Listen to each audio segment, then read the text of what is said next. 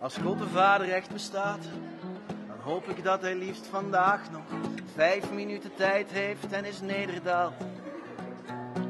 Ik zeg hem tussen pot en pint wat ik van zijn planning vind qua hete wereldpolitieke kwesties.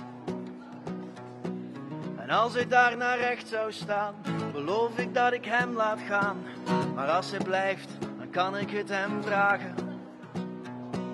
God, ik en Marion, zit dat tussen ons?